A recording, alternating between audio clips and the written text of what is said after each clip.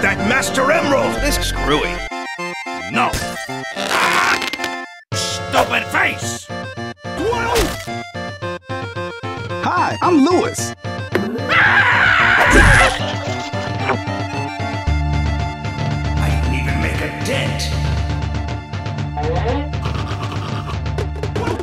But next